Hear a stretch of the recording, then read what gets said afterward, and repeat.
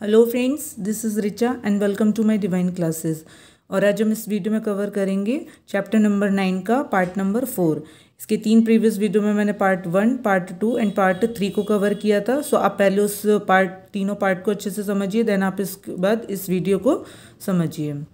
Clear so so, आपका मैंने बताया था कि जो प्लांट न्यू प्लांट का फॉर्मेशन होता है वो एक तो सीड से होता है और एक मतलब प्लांट के कई सारे पार्ट्स से भी एक नया प्लांट का फॉर्मेशन हो जाता है। जैसे किसी की बड से नया प्लांट बन जाता है स्टेम से बन जाता है रूट से स्टेम से या फिर लीव्स से नए प्लांट का फॉर्मेशन होता है। तो इसमें एक एक्टिविटी के थ्रू समझाया गया है। एक्टिविटी नंबर फाइव है आपका कि यहाँ पर कुछ एक रोज़ और मेहंदी प्लांट को क्या किया जा रहा है? कट किया जा रहा है। कट करके उसे सॉइल में अंदर फिक्स करके उसे रेगुलर वाटर दे करके फिर वो कह रहे हैं ऑब्ज़र्व करो कि इससे न्यू प्लांट का फॉर्मेशन हो रहा है या नहीं हो रहा है। So I activity number five हम देखते हैं कि take a cutting from a rose और mehndi plant fix it in the soil and water it regularly what do you observe after a few days आप इसको रेगुलर वाटर दीजिए, फिर इसको ऑब्ज़र्व करिए कि क्या चेंजेस आपको देखने मिला। So it may not be easy to grow plant from cutting do not be disappointed if your cutting does not grow so अगर आपकी कटिंग सपोज़ दैट ग्रो नहीं कर रही है तो आपको डिसअपॉइंट होने की ज़रूरत नहीं है। मीन्स आप निराश मत होइए कि आपने जो कटिंग करके सॉइल में लगाया तो वो आपका ग्रो नहीं कर रहा है। इसके लिए आप क्या करिए talk to a gardener if possible on the care to be given to cutting to make them grow into plant तो जो वहाँ का गार्डनर है, उनसे बात करिए और उसकी और अच्छे से केयर करिए। तो वो क्या करेगा? और जो भी गार्डनर आपको सजेस्ट करें कि इस प्लांट के संग में आपको इस कटिंग के संग क्या क्या करना है तो आप वो सब करिए। तो आपका हो सकता है वो उससे उस कटिंग से आपके नए प्लांट का क्या हो जाएगा? फॉर्मेशन हो जाएगा। सो so, हमने इसमें क्या समझा कि जितने भी लिविंग थिंग्स होते हैं वो क्या करते हैं? ओन काइंड रिप्रोडक्शन प्रोसेस के थ्रू अपने ही जैसे ओन काइंड का क्या करते हैं? रिप्रोडक्शन करते हैं। So living things produce more of their own kind through reproductions it take place in many different ways for different organism और ये जो आपकी प्रोसेस होती है रिप्रोडक्शन की, वो डिफरेंट ऑर्गेनिज्म में डिफरेंट डिफरेंट वेज से हो सकती है। क्लियर नाउ नेक्स्ट हेडिंग है हमारा डू ऑल ऑर्गेनिज्म मूव क्या जितने भी ऑर्गेनिज्म है क्या वो मूव करते हैं? तो आपने एनिमल्स को तो देखा है कि वो वन प्लेस वन प्लेस से अदर प्लेस क्या करते हैं? मूव करते हैं। मतलब एक जगह से दूसरी जगह वो मूव करते हैं खुद से। ह्यूमन बींग्स भी इसी तरह करता है। लेकिन क्या आपने प्लांट को मूव करते देखा है? प्लांट तो एक ही जगह फिक्स होते हैं तो फिर वो कैसे मूव करते हैं? उनमें मूवमेंट होता है तो कैसे होता है? सो so, आइए समझते हैं। Chapter eight we discussed in we discussed the various ways in which animals move हमने चैप्टर एट में समझा था कि एनिमल्स में मूवमेंट होता है डिफरेंट तरह से डिफरेंट एनिमल्स में. They move from one place to another and also show other body movement और वो अपना बॉडी मूवमेंट भी क्या करते हैं? शो करते हैं. वॉट अबाउट प्लांट प्लांट के बारे में क्या? डू दे ऑल्सो मूव क्या उनको कभी आपने एक जगह से दूसरी जगह मूव करते देखा है? So plant are generally anchored in soil so they do not move from one place to another तो प्लांट की जो जड़ें होती हैं, वो तो सॉइल में काफ़ी अच्छे तरह से एंकर्ड होती हैं तो वो कैसे मूव करेंगी एक जगह से दूसरी जगह? However various substance like water minerals and the food synthesise by them move from one part to of the plant to to other तो जो प्लांट में वाटर का मिनरल्स का या जो फ़ूड सिंथेसाइज होता है तो वो वो तो एटलीस्ट क्या करता है प्लांट के डिफरेंट डिफरेंट पार्ट्स में उसका तो मूवमेंट होता ही है। Clear have you noticed any other kinds of movement in plant क्या आपने किसी और तरह का मूवमेंट भी प्लांट में देखा है?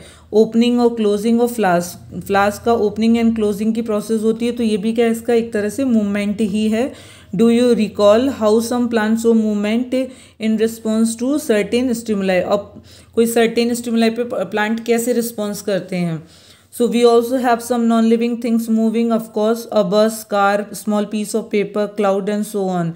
Is there something different in these movement from the movement of living beings? क्या जो non-living things होते हैं जैसे कि कार या बस तो ये भी तो एक जगह से दूसरी मूव करते हैं तो क्या इनमें भी मूवमेंट होता है लिविंग बींग्स की तरह so there is such a variety of living organism but all of them show some common characteristics so आपने देखा कि लिविंग बींग्स लिविंग ऑर्गेनिज्म की कई सारी वेराइटीज़ होती हैं तो उनमें कुछ कॉमन कैरेक्टरिस्टिक्स होते ही हैं सभी लिविंग बींग्स में।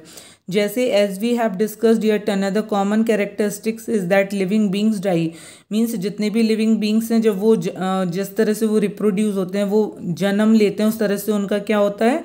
वो डाई भी करते ही करते हैं। कौन? जितने भी लिविंग बींग्स होते हैं तो ये हर लिविंग बींग्स का एक कॉमन कैरेक्टरिस्टिक्स है कि उनका अंत में लास्ट में क्या करना, उन्हें डाई करना, चाहे वो प्लांट हो, चाहे वो एनिमल हो, कोई, चाहे वो कोई ह्यूमन बींग्स हो। So because organism die, particular types of organism can survive over thousands of year only if they reproduce their own kinds. तो कोई भी जो ऑर्गेनिज्म है वो डाई कर जाता है लेकिन उसकी कोई पर्टिकुलर ऑर्गेनिज्म उसी की जो प्रजाति है वो वो थाउजेंड्स ऑफ़ ईयर क्या कर सकती है? सर्वाइव कर सकती है। कैसे करेगी वो सर्वाइव जब वो अपने वो अपने ही जैसे रिप्रोड्यूस मतलब ओन काइंड अगर वो रिप्रोड्यूस करता है तो ये पॉसिबल है कि उसकी जो प्रजाति है या जो लिविंग ऑर्गेनिज्म है, वो हज़ारों सालों तक रह सकता है अगर उसने रिप्रोडक्शन की प्रोसेस की है तो। वन सिंगल ऑर्गेनिज्म में die without ever reproducing, but the types of organism can exist only if there is reproduction. तो एक सिंगल ऑर्गेनिज्म बिना रिप्रोडक्शन किए हुए ही डाई कर जाएगा तो उसकी वो उस, वो ख़त्म हो जाएगा पूरी तरह से। लेकिन अगर उसने रिप्रोडक्शन की प्रोसेस की है तो वो हज़ारों सालों तक क्या कर सकते हैं? जीवित रह सकते हैं। क्लियर नेक्स्ट है आपका। We see that all we see that all living thi- uh, things seems to have some common characteristics. They और भी क्या कॉमन कैरेक्टरिस्टिक्स होते हैं जो लिविंग बींग्स होते हैं? जैसे कि सभी लिविंग बींग्स को फ़ूड चाहिए रेस्पायर वो करते हैं रिस्पॉन्ड टू स्टिमुलाई करते हैं रिप्रोड्यूस वो करते ही and show movement and grow and die तो ये कुछ कॉमन कैरेक्टरिस्टिक्स हैं जो सभी लिविंग बींग्स में ये सारी प्रोसेस होती ही होती हैं। Do we find some non living beings that also show some of these characteristics तो क्या जो लिविंग बींग्स में ये कॉमन कैरेक्टरिस्टिक्स हैं तो क्या इस तरह के कैरेक्टरिस्टिक्स नॉन लिविंग बींग्स में भी चलते हैं? जैसे कि car bicycle clock and the water in the river move जो पानी पा, नदियों का पानी जो मूव करता है या moon moves in the sky जो स्काई में मून मूव्स करता है या cloud grow in the size right in front of our eyes जैसे हमने बादलों को अपनी आँखों के सामने बड़ा होता हुआ देखा है तो can such things be called living तो क्या आप इनको भी लिविंग बुलाएँगे?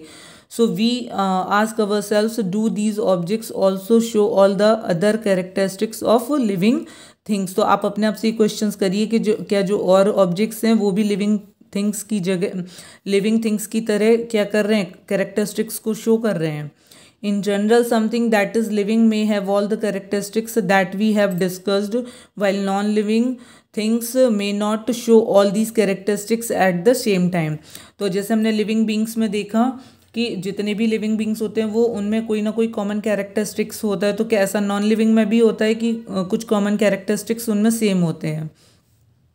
In this way true do we find do we always find that living beings definitely show all the characteristics of the living that we have discussed? Do we always find that non-living things may also may show only some of these characteristics and never all of them?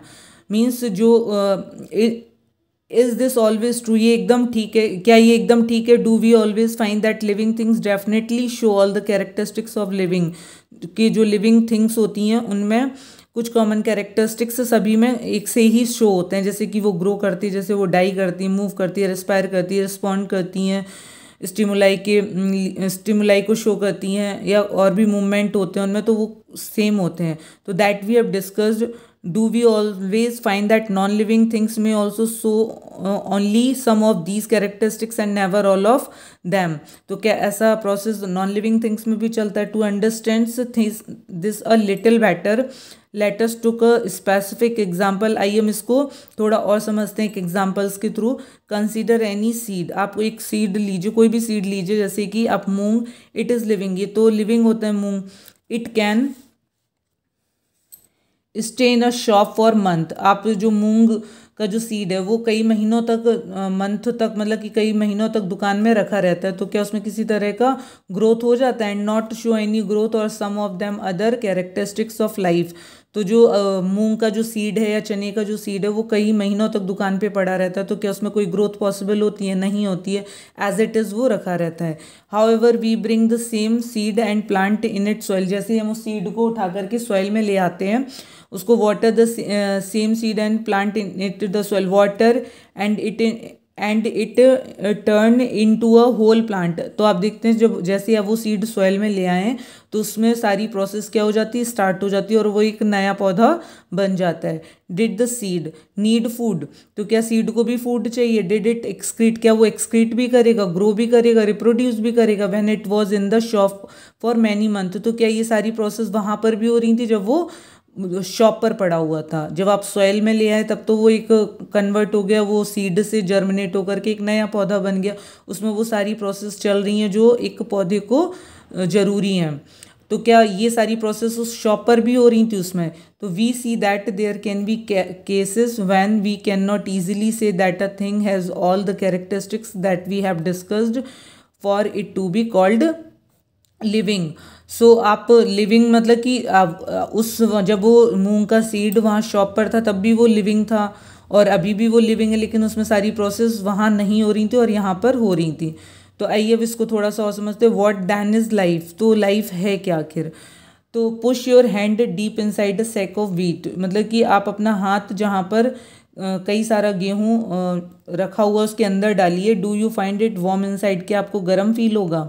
जब आप अपना हाथ अंदर डालेंगे तो वहाँ पर कुछ आपको गरम गरम फील होगा there is some heat being produced inside the sack of wheat तो वहाँ से क्या हो रही है?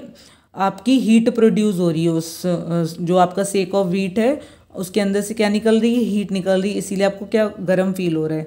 The seed respire and and in that process give out some heat तो उस सीड में वहाँ पर कौन सी प्रोसेस चल रही? है रिस्पायरेशन की प्रोसेस हो रही है, इसीलिए हमें क्या पता चल रहा है? हीट तो we see that respiration is a process that take place in seed even when some of the other life process may not be very active तो वहाँ पर जो सेक ऑफ़ वीट है, वहाँ पर रेस्पायरेशन की प्रोसेस तो हो रही बट और प्रोसेस एक्टिव अभी नहीं है। So it may not very easy to answer our question so हमारे क्वेश्चन का आंसर देना इतना ईजी नहीं है।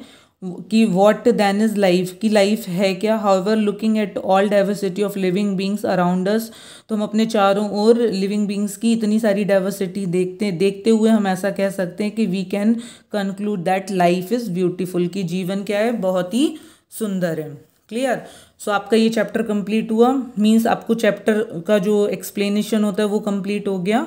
अब हम इसको नेक्स्ट वीडियो में आपसे मिलते हैं इसके कुछ पॉइंट्स के साथ। ओके तब तक के लिए बाय बाय।